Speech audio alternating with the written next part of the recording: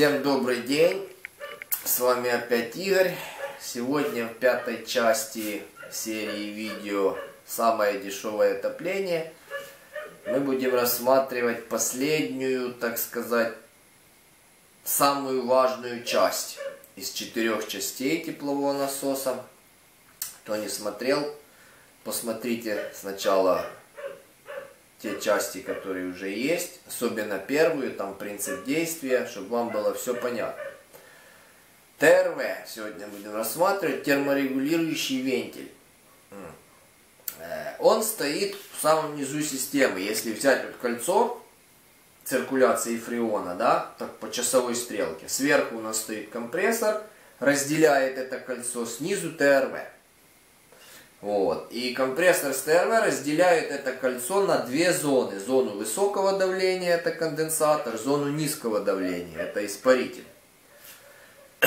Назначение ТРВ пропускать фреон с определенной скоростью. Не больше и не меньше. Он следит за этим с помощью своего выносного термобаллона. ТРВ сам следит.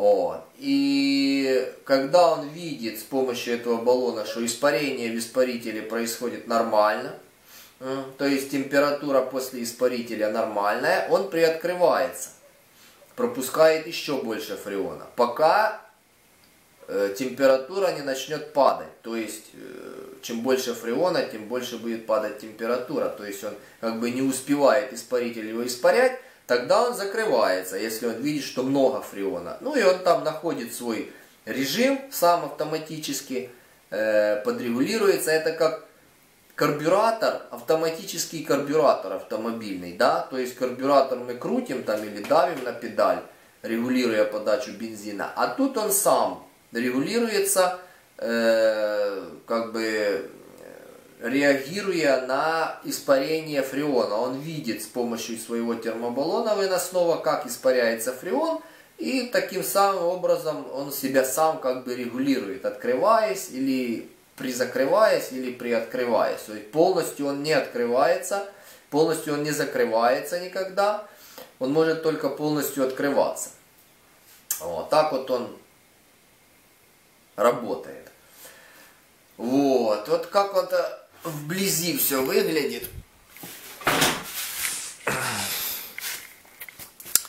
Вот, собственно, этот термобаллон ТРВ. Он примотанный к трубе такой медной шиной. Контакт его с трубой термобаллона должен быть максимальным, чтобы он хорошо чувствовал температуру трубы. Потому что он реагирует именно на температуру. Стоит он на трубе всоса всаса в компрессор. Это уже труба входит в компрессор. Вот, связан он вот такой вот капиллярной тоненькой трубочкой с самим своим ТРВ. Это, так сказать, есть часть ТРВ. Вот.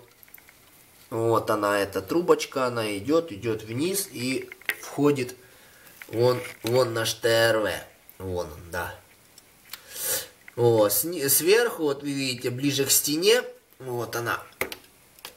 О, вот это вот диафрагма, на которую давит термобаллон расширением или сужением фреона в нем после испарителя. И реагирует, давит он дальше на эту иглу, диафрагма. Ну и соответственно открывается или закрывается. Вот так он работает. Вот это закрыто таким наперстком закручена регулировка. То есть его еще можно и подрегулировать. Если у вас не хватает заводских настроек, вы вот эту штуку откручиваете, там винт такой специальный есть, и без разгерметизации всей системы можно регулировать этот ТРВ. Сюда снизу вставляется труба, это конденсатор подходит сюда, это вход в ТРВ. Вот это вот торчит справа, это выход. Вот это выход. Выход с ТРВ, это уже идет в испаритель.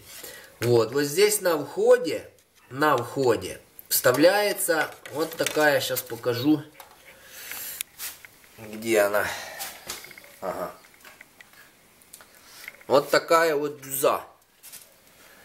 Это сменная вставка под определенную мощность. Вот так она вставляется. То есть, ну вот так вот снизу вот эта труба, которая подходит э, к ТРВ. О, и туда вставляется сначала внутрь корпуса вот эта вставка, потом развальцовывается труба вот на вот эти фаски, вставляется труба и закручивается гайка, зажимает его там. Вот эти дюзы, они идут по мощности. 0, 1, 2, 3, это соответствует определенные эти цифры мощности. То есть корпус ТРВ он одинаковый на любую мощность, там 10 киловатт, 2 киловатта, 15 киловатт, одинаковый корпус. А вот эти дюзы, они идут сменные под определенную мощность. Вот это и то, что стоит игла вот это, видно, на которую давит мембрана. Оно открывается, тут проход или закрывается. Приоткрывается или призакрывается. Вот, вот такое вот его устройство. Э, да, вся система у меня работает на R22 фреоне. О, считаю это самый оптимальный фреон для самодельного теплового насоса. Работает он на обычном минималь... минеральном масле. Вот. А значит вам и ТРВ, и компрессор надо брать на R22 тоже. Ну, то есть на тот фреон, который у вас и будет циркулировать. ТРВ и компрессор надо брать под тот фреон. Там оно там и пишется, в принципе, на сайтах. Вот эта коробочка от ТРВ. Там еще инструкция есть. Ну, видно, что снизу вот под штрих-кодом Алко написано. Кстати, на ТРВ не экономьте. Это очень важный узел теплового насоса, он должен работать корректно. Возьмите лучше качественный какой-то там Алко, Данфос тоже неплохой. Ну, мне сказали, там где я брал, что Алко лучше даже за Данфос. Не знаю, правда ли это, ну, так мне сказали. Ну, оно дороже, правда, Алковский дороже был. Вот, вот видно на R22 он работает. Или R422, ну это его заменитель. Температура его работы диапазон работы от минус 45 до плюс 20. До плюс 20. На это тоже надо обратить внимание, чтобы в этот диапазон входила температура вашей воды со скважины или там с колодца, откуда вы будете. То есть температура вашего испарения. В этот диапазон она должна входить. Вот, ну вот такой вот ТРВ. О, какие еще бывают ТРВ? О, ТРВ бывают э, э, электронные, они называются ЭРВ. О, электронный ТРВ. У него большая цена, намного большая, но его преимущество в том, что у него намного больше диапазон от этой температурной работы, там практически он ничем не ограниченный. Если вот ТРВ такие механические на определенный диапазон работы, то электронный ТРВ можно настроить любым образом. Он там, ну, ну, он мне не нужен, в принципе, мне сойдет и такой. Вот, он у меня стандартная система. Вот. Бывает еще ТРВ с внешним уравниванием и ТРВ с внутренним уравниванием. У меня ТРВ стоит с внутренним уравниванием. То есть внешним уравниванием там еще идет с корпуса ТРВ медная трубка, которая вварив... вваривается, выход такой, да, он с ТРВ выходит и вваривается аж возле э, термобаллона, где-то тоже на входе в компрессор. Вот.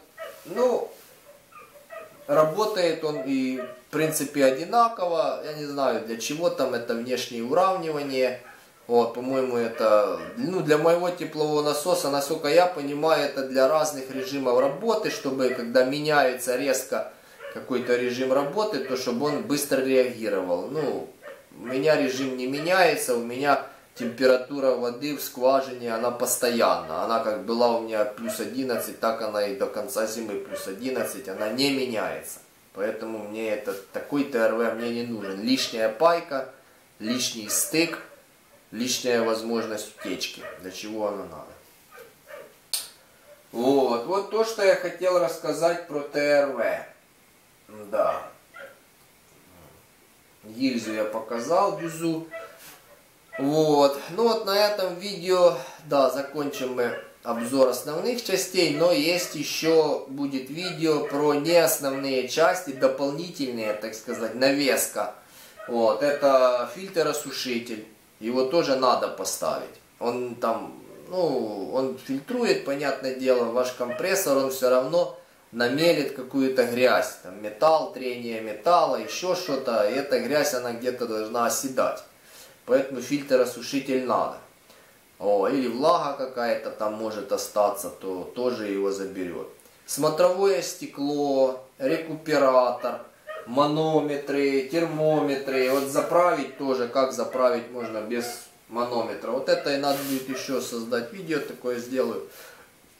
Вот, по таким дополнительным частям теплового насоса, которые упрощают нашу жизнь, регулировку теплового насоса, заправку, ну и все такое. Так что ждите следующего видео. Если что-то непонятно по ТРВ, я что-то не сказал, что-то забыл, есть какие-то вопросы, пишите под комментарием, постараюсь ответить. А, ну что, все, сейчас не могу запомнить, что мне надо сказать, что я хотел сказать. Подписывайтесь на канал, будет еще много интересных видео и по тепловому насосу, и по другим. Вот. Ну, как-то на сегодня все. Всем пока. До следующего видео.